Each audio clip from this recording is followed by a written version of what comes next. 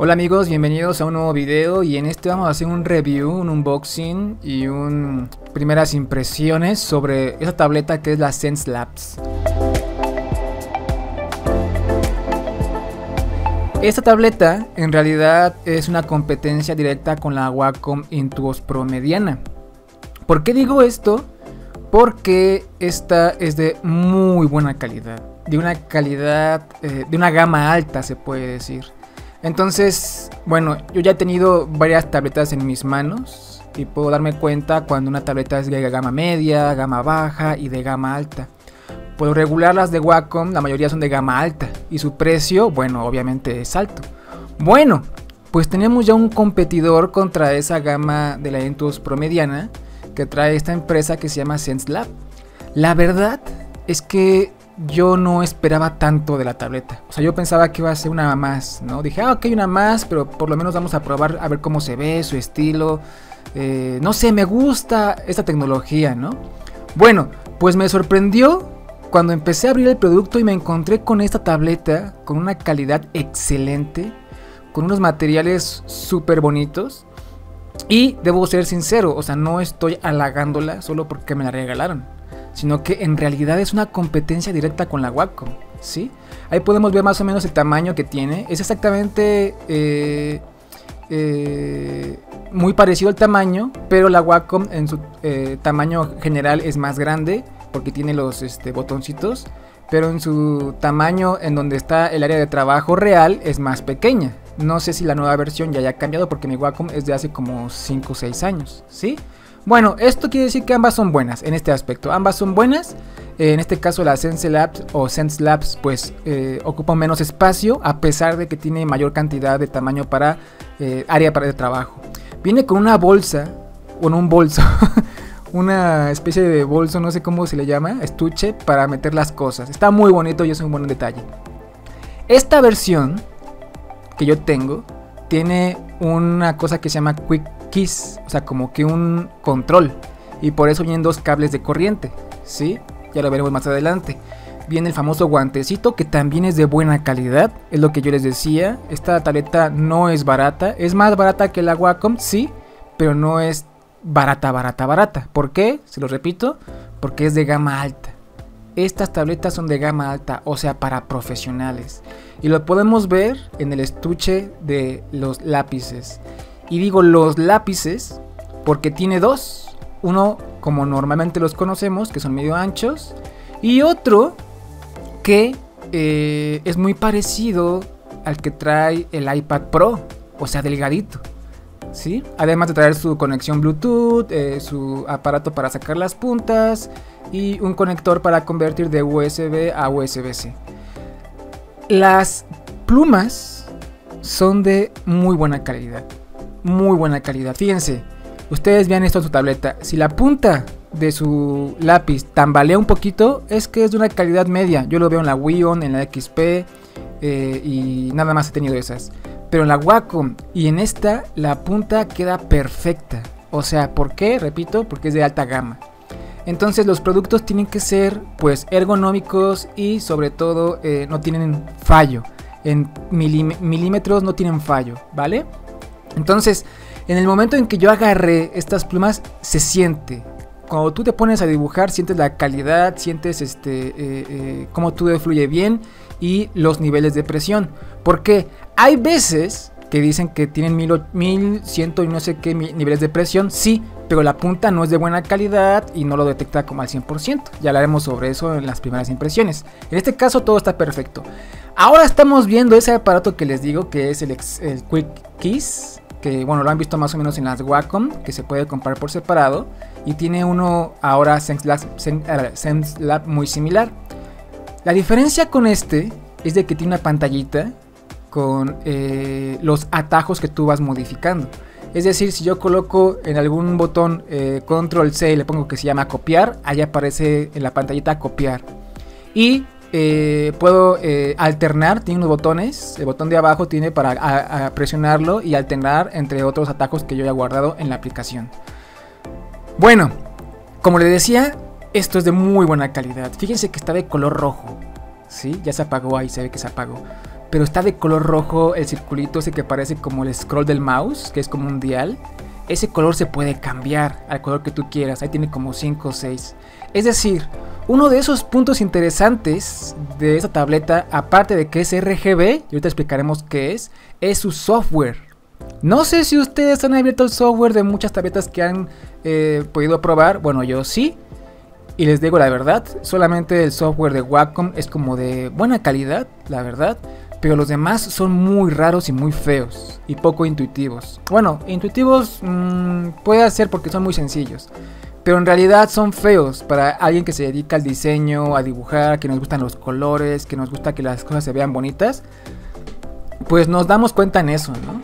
Bueno, Afortunadamente en esta empresa pues lo tomaron en cuenta por lo que veo y desde un principio te dice, oye, pues mira, podemos eh, exportar ya automáticamente en este software todos esos atajos, por ejemplo de tu Clip Studio Paint o de tu Photoshop, y si te gustan pues los dejas así. Entonces ahí te aparece arribita que tienes instalado Photoshop y Clip Studio Paint y ya vienen atajos por defecto. Es decir, tú ya no tienes que buscarlos para ponerlos eh, en tus dispositivos, que en este caso son dos, que es la tableta y el Quick Keys, que es el aparato este que parece un control. Bueno, eso habla muy bien, porque también lo he visto en otro producto que vamos a reseñar después. Bueno, hasta aquí me gustó muchísimo cómo tiene las opciones, cómo eh, eh, se ve el software, cómo se ve la tableta, la calidad. Todo me gustó mucho. Cuando vi esto del RGB, es decir, que podíamos cambiar esos colores que tiene la tableta ahí en sus eh, flechitas en el área de trabajo y en el dial. Los podemos cambiar, ahí se ven los colores, mira, el blanco, rojo, azul, cian, verde, amarillo, naranja y rojo. Podemos cambiarlos. ¿Sí? Tú dirás, bueno, esto no sirve de nada. Le da un aspecto bonito y tecnológico a lo que tenemos. La verdad yo tengo un mouse que es como RGB, prende de azul y me gusta. Y también es un mouse de calidad. Pero bueno, son detallitos que eh, uno puede ir poniendo a su tableta, a sus cosas, simplemente porque es como darle un gusto a lo que es el diseño. Ahí se puede ver, ¿no? Como el color que más me gustó, pues es el azul cian, más o menos por ahí. Y otro aspecto interesante es que esta tableta puede ser vía Bluetooth, igual que la Wacom Intus Pro es vía Bluetooth, o sea, podemos desconectar los cables y ahí tiene un pequeño eh, botoncito, un switch que, que, lo puedes activar para que la tableta se prenda y automáticamente con un solo dispositivo Bluetooth puede conectarse ambas, eh, ambos dispositivos. Por eso es que yo tengo dos cables, porque es para los dos dispositivos. Entonces los pones a cargar mientras dibujas, los desconectas y ya tienes un poco más libre lo que es tu escritorio. Esta tableta no es touch, la Wacom que yo tengo, eh, Intuos Pro, sí es touch. Casi no lo uso, pero sí es touch.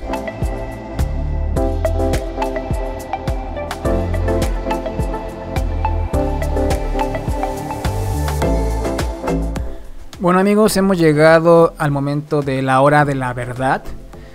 Y bueno, eh, ¿vale la pena o no vale la pena una tableta como estas? Pues yo diría que al final de cuentas, si eres un profesional, recordemos que la marca Wacom, por ejemplo, es para profesionales. La persona que tú veas dibujando, no sé, profesionalmente en algún lugar de videojuegos, arte conceptual, diseño, cada vez siempre tienen Wacom, ¿no? Porque pueden pagar esos precios de las pantallas y de las tabletas. Entonces tenemos una ventaja de que esa tableta es exactamente la misma calidad en todos los aspectos. Yo diría que hasta a veces un poquitito más en cada cosa, puesto que es un producto nuevo y lo han podido pulir durante, pues me imagino, mucho tiempo observando las partes negativas de otras tabletas.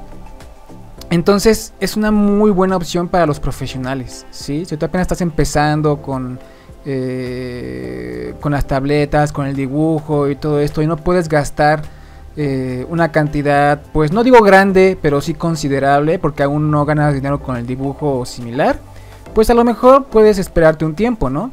Pero si tú eres ya un semiprofesional o un profesional que está buscando una tableta un poquito más barata que las de Wacom, pero con una calidad igual o superior, entonces es súper, súper recomendadísima. Yo podría decir que en este momento yo considero esta una de mis tabletas principales, es decir, la Wacom que yo usaba cuando no hacía sketch o entintado en la en Paint en Studio Paint, pues uso, o mejor cuando hago, por ejemplo, color, uso tabletas que no sean pantalla para descansar la espalda. Entonces, ahora estoy usando esta. ¿sí? Y la verdad es que me gusta mucho. O está muy bonito el diseño, al final de cuentas. Eh, y no es que la Wacom sea peor o, su calidad haya decrecido, no. Pero tan solo con el hecho de que esta ocupa un poco menos de espacio, pues, y que puedo poner este, por ejemplo, en otra posición, y puedo usarlo, etcétera, y que lo puedo usar con otros programas, pues entonces digo, pues hay que usarlo, ¿no? Porque puedo conectar la tableta y este poner los atajos, por ejemplo, de qué serán del stream, cuando hago stream en Twitch. O por ejemplo cuando quiero hacer ediciones en, en Movie Studio Vegas. No sé, también pongo aquí atajos y lo uso para otros programas, ¿sí?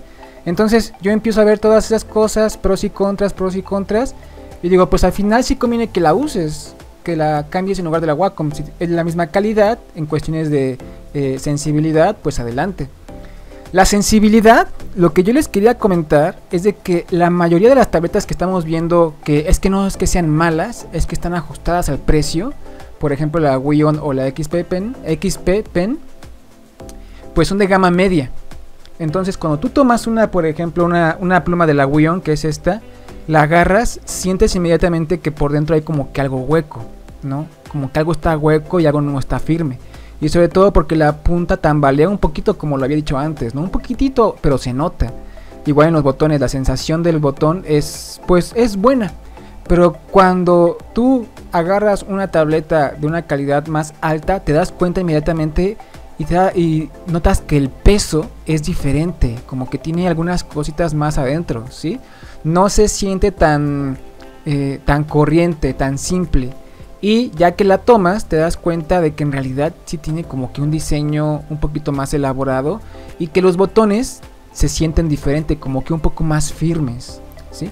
Al final tal vez es lo mismo, sí, en algunas cosas, pero donde cambia más, en donde más me fijo yo últimamente, es en la punta y la sensibilidad que, y el lag. ¿no? Hay lag en esta tableta cuando pintamos, nada, es perfecto.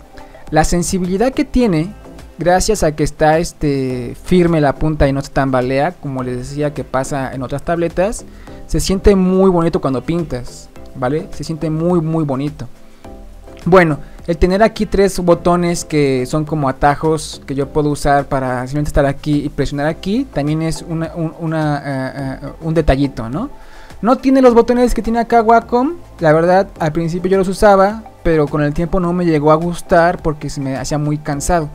Entonces yo veo que es una muy buena alternativa el que ya no estén los botones pegados a la tableta en este caso, sino que estén por fuera para que tú los puedas poner donde sea y puedas descansar la mano. Es decir, si ya te cansaste de tenerla aquí, que es lo que a mí me gustaría hacer, porque es ligeramente pesado, entonces ponerlo aquí ahora sí y ya poder usarlo.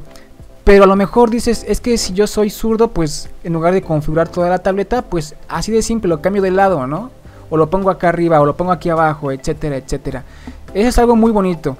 Yo, saben que uso el Joy-Con del Switch, que me gusta porque casi no pesa nada y todo esto. ¿Qué me hubiera gustado más a mí tal vez en este aspecto? No lo sé, a lo mejor porque yo me acostumbré a que este fuera un poco más pequeño y menos pesado, ¿no? Bueno, obviamente si es más pequeño pesaría menos, obviamente aunque le quitáramos la pantalla donde están las letras, pero que estuviera más o menos como la mitad del tamaño en todos los aspectos, en largo y ancho, que estuviera la mitad. ¿Para qué? Para poder ponerlo yo en mi mano, así como lo hago con el Joy-Con del Switch, o como lo hace el TapMate, que es el que tiene Clip Studio Paint, que es su alternativa para poder usar los atajos. Ese no lo tengo, no lo puedo conseguir, no sé, lo, quería hacer, pero parece que aquí en México es muy difícil conseguirlo, creo yo, ¿no? Bueno, eh, al final nos dan dos plumas. Esta es la de la Wion. Nos dan dos plumas. Y sí, es muy extraño pintar con esta porque es como un lápiz. Ya me desacostumbré. Pero es como un lápiz prácticamente. La sensación y el tamaño. ¿Sí? No se tenía que volverme a acostumbrar porque no estoy acostumbrado a una pluma tan pequeña en las tabletas. Bueno, ¿qué punto negativo le podría yo encontrar en general a esta tableta? Pues en realidad no tiene ninguno. El precio va acorde a la calidad y creo que se me hace justo al final de cuentas. ¿Qué es lo que podría yo... lo que yo pediría? es que cuando van a sacar una tableta de pantalla. Porque si ellos pudieron igualar y casi superar la calidad que tiene Wacom en precio y en, eh, eh, en diseño y varias cosas, entonces a mí me encantaría ver qué es lo que pueden hacer con una pantalla. Sería muy bueno. Y eso sería el punto negativo que yo le encuentro a esta empresa todavía, porque parece que es nueva y este es su primer producto. Entonces no tienen más, no tienen una pantalla, no tienen otras, este, otros tamaños. Este es el único que existe. Eso podría ser lo malo entre comillas, porque yo me quedé con ganas de más, o sea, de conocer más.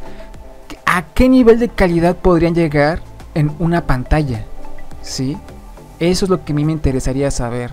Y bueno, fuera de eso, súper recomendadísima. Muy bonita, mucha calidad y un poquito más barata que la Wacom. Súper recomendadísima, la verdad. Muy bonita, me gustó bastante. Y bueno, ya saben cómo funciona esto. Si te interesa saber un poco más el precio, eh, las características de esta tableta o informarte más, en la descripción vamos a dejar unos enlaces eh, para que toda esa información quede clara. ¿Vale?